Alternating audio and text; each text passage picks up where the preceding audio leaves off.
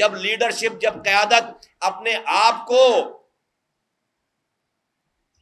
अपनी हलक हलक तक जो है वो गंद बला में उतार ले तो वो फिर कौम की क्यादत नहीं कर सकती, वो फिर सख्त फैसले नहीं कर सकती।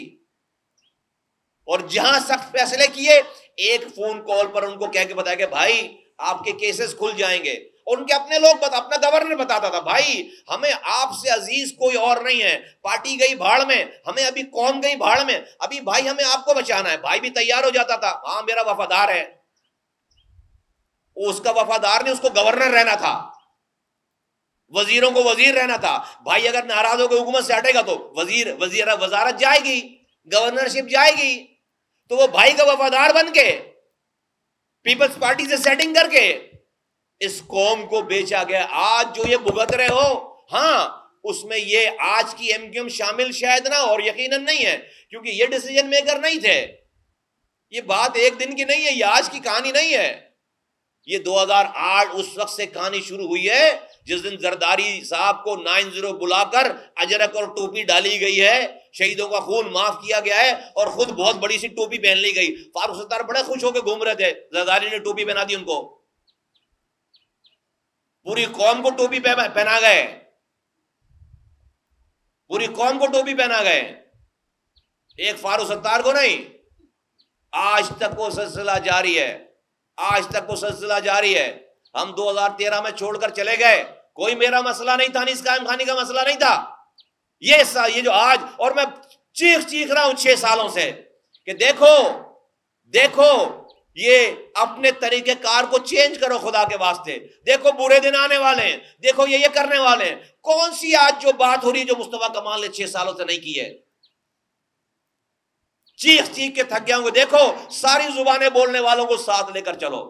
देखो, आइसोलेशन में ना डालो मुहाजरों को। कौन सी बात है जो जब लीडर, जब कौम का लीडर लंदन में बैठकर पीपल्स पार्टी वालों को यह बोलेगा कि मैंने बहुत हथियार जमा कर लिए हैं। लड़के बहुत है मेरे पास। आओ मिलकर तुम और हम मिलकर सिंध को अलग करते हैं। कोई होगा कोई बेवकूफ़ आदमी इस तरह? तो वो पीपल्स पार्टी आकर यहाँ पर ये नहीं करेगी तो और क्या करेगी? खुद बोल रहा है लीडर बोल रहा है। मैंने बहुत हथियार और बड़े लड़के हैं मेरे पास। आओ दोनों मिलकर सिंध को अलग करते हैं। ऑन रिकॉर्ड कह रहा हूँ टीवी पे कह रहा हूँ ये वाल बात कैमरों को आगे। आ जाए मेरे सामने। बोले, नहीं कही थी बात। तो ऐसे कौम को दुश्मनों की ज़रूरत है फिर मोहजरों को? मोहजरों को फिर बाहर से दुश्मनों की ज़रूरत है? नहीं है। ये सब कुछ किया हुआ अपनों का किया हुआ है। योदा अपनों का वो अपनों के दिए हुए जख्म है सारे। तो आज मैं आवाज़ लगाकर कहता हूँ कि अब भी खुदा के वास्ते होश करो। जो और दूसरी नुमाइंदा जमाते हैं, अगर वो सिंसियर हैं, हुकूमत छोड़े और आए, ये ऐसे नहीं मानेंगे। आए, सड़कों पर आए, ये ऐसे नहीं मानेंगे। आप सिंसियरिटी के साथ हुकूमत छोड़कर सड़कों पर आए, हम आपके शाना बशाना इस जद्दोजहद में आपका हाथ बटाने के लिए तैयार हैं। आपके पास ज़्यादा पावर है। आज आप जरा सा किरदार का मुजाहरा करें, थोड़े से किरदार का मुजाहरा करें, ये हुकूमत गिर जाएगी। सिर्फ़ प्रेस कॉन्फ्रेंस से काम नहीं चलेगा।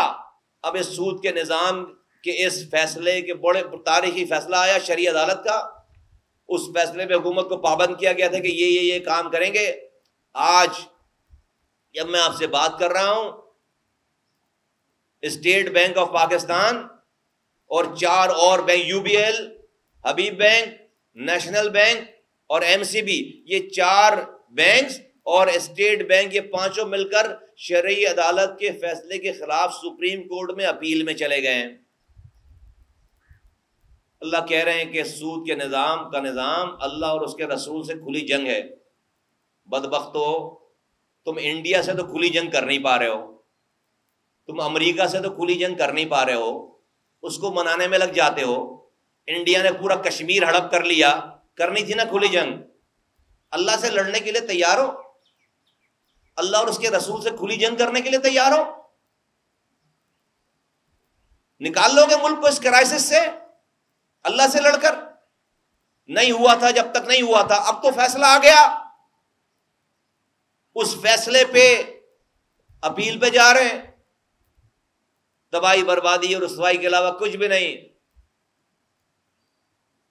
हाथ आएगा। ले आओ पैसे अमेरिका से आईएमएफ से, चाइना से, सऊदी अरब से। नहीं निकल पाओगे। अल्लाह और उसके रसूल से खुली जंग नहीं जीत सकते।